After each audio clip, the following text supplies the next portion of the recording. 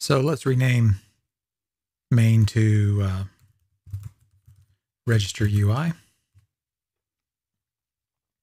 And then let's create a register circuit.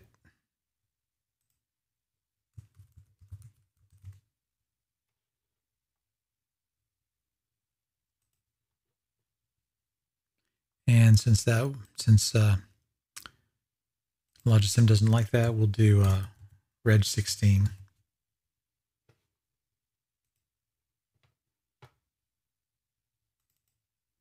Okay, so we need 16 of our bit components. So let's include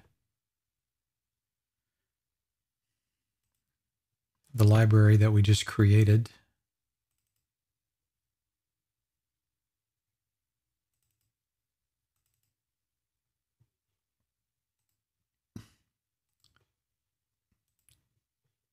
So we need 16 bits because each register is 16 bits wide.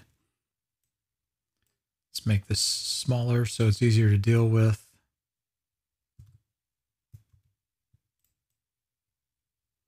So I'm going to lay out 16 of these and I'll be right back. The clocks all have to be wired together. So let's do those first.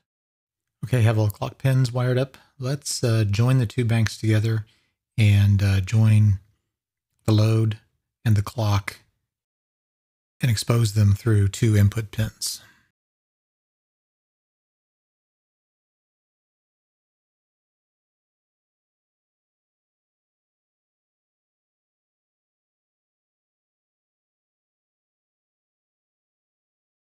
So now what remains is to wire up a bus, an input bus for all of these individual inputs and then an output bus for all of the outputs. And I'll use the splitter and make this a 16-bit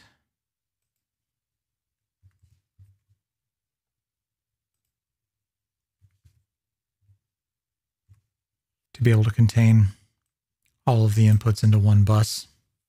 Since with the CPU, we just deal with 16-bit registers, generally and not access individual ones, or at least when we do, we'll fan them out and, and access them appropriately. So I'll wire these up on both sides and I'll be back. So I have my two 8-bit 8-bit uh, D buses here. So we want to join those together, and, and I think this is how you do it.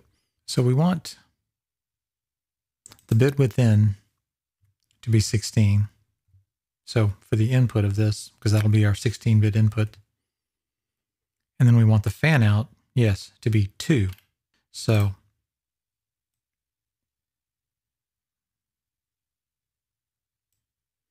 lower 8 bits go there.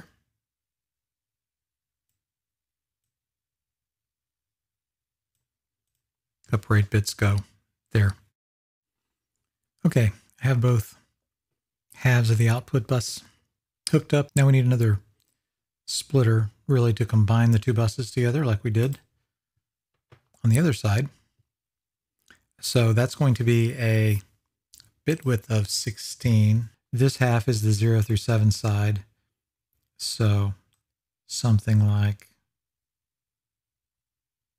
that. Me not sure if the selected state matters, so we'll turn it off. Okay, so there's that side, and then that side, and then we need a Q pin.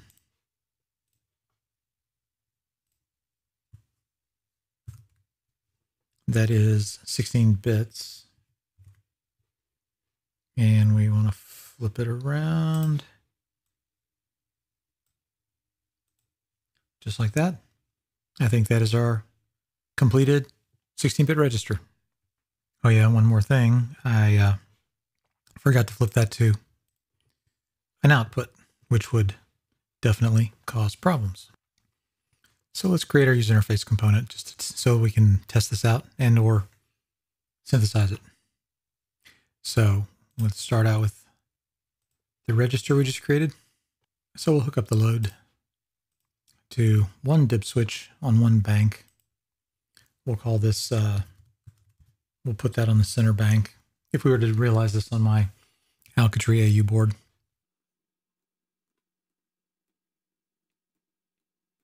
Okay, so we have load switchable now, and we need a clock. So let's put the clock on there. And we need some switches to be able to set the state of the register. And so uh, I have two two switch banks. Um, and actually, I said center. We probably need to make that the left one because I'm going to use the right and the center switch banks to put in the values. Okay, so we need to hook up our D. So what I'm going to do is try to hook these up how they appear on the board.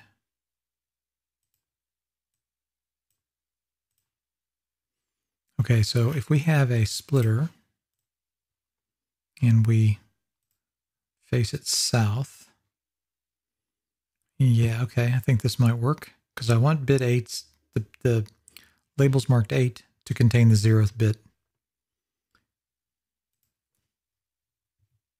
Uh, or the, the lowest bit for the for the byte.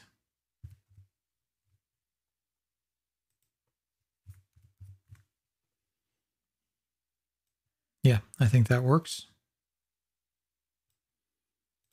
Nice. And then this will be the input. Okay. And then we need a fan out for the LEDs. So another splitter.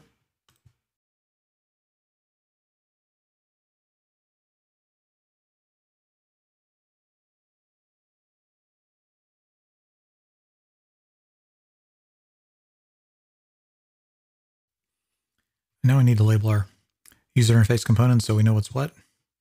So we're going to call this one um, SWR. And we're going to call this one SWC for center. And move the label so I can see it. And then we'll call this uh, We'll just call this one L0. And then maybe cap because that looks like an I. Doesn't really matter. Oh, and there does seem to be a bug. Oh, yeah. I meant to uh, log this. So it still thinks there's an L0 and it won't let you do a capital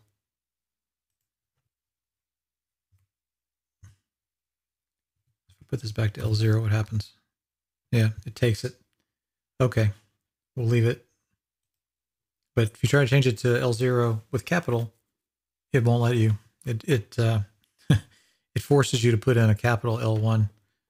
So I kind of view that as a bug. And then for these labels, I'm gonna, I guess I could all put them south. I guess I should have done that. Let's see. Label, label, label. Here it is. South.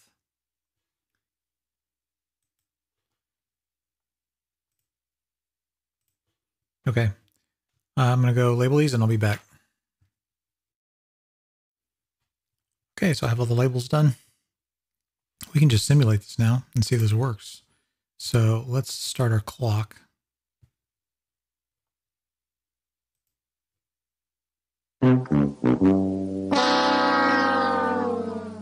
that's interesting. And that certainly doesn't look right.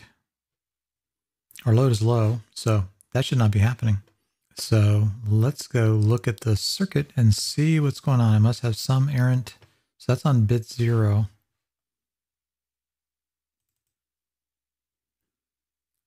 Bit zero. Oh, it looks like there's some node joining going on right here. Okay, I think I have all this straightened out and I was trying to get cute, be lazy. And when these things are too close together and you try the, uh, you know, the glue on and grab out, um, it, it does work, except if you, so for example, there's a connection, a terminal point right there. And if that terminal point lands on that wire, then you wind up, you know, making a, a junction there. So had to go through and delete all the all those errant junctions and then sort of re-add them. And so now it looks it looks correct. So let's try to test it again. So back over here, let's start up our clock. Okay, so I don't have that flashing anymore. That's a good sign. So let's uh, let's turn on number one, and then let's turn on the load. And number one comes on. Okay, great. So let's turn on another one. And then the next clock signal. And if I turn that off, then that should go off the next clock signal. Should stay on. Okay, so far, so good.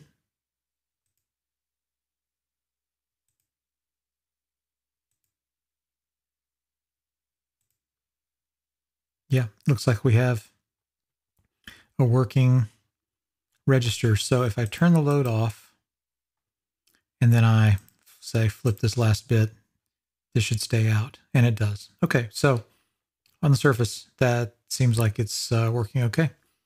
Let's synthesize it just for fun. So to synthesize it, we need to, well, let's just annotate everything that I didn't annotate because it'll complain otherwise. And um, we want to bump our frequency up to something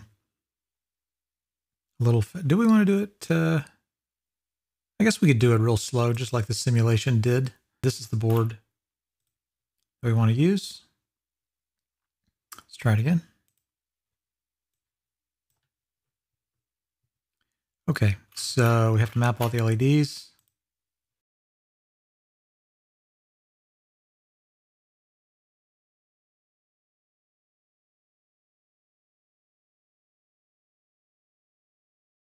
Right, and so we want, so yeah, so there's our center switch, and there's our left, and then our right. So we're all mapped.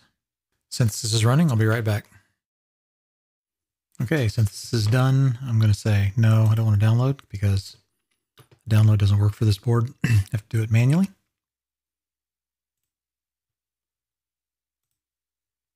So this is my loader for the Alchitry board. You can get it off Alchitry's website if you have this board.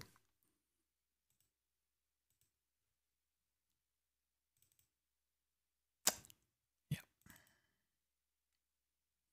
And it is located in uh, Sandbox. VP runs, Impl.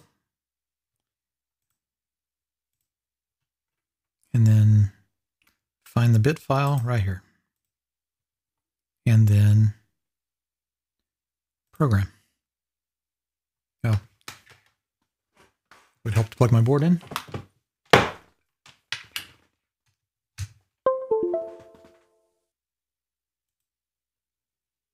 And it's programmed. Okay, and here is our board. Now, uh, let me turn these switches off because they don't mean anything. Don't want to confuse you. Uh, so Again, nothing is lit, which makes sense because load's not on. The load switch, if we recall, the left bank uh, is here. So if I turn that on, nothing should still happen because none of these switches are on. Now, if I turn this one on, next clock cycle, that should come on, and it does. Again, the clock is running real slow. It's running at one hertz, so it takes a bit of time for this to come on. Now, if I turn this off, nothing should happen. That should stay on, and it does. And if I turn another bit on, nothing happens because load is off. Now if I turn load on, this should come on, and it does. Okay, so turn that one on. That comes on. Lower the load. Everything stays on. Turn load on. Turn that off. That should go off, and it does. Turn that on. That should come on. And let's try the upper bank. That should come on. And then I turn that one off. Everything stays on. So looks like we've got a successfully synthesized 16-bit register on the way for our hack CPU implementation.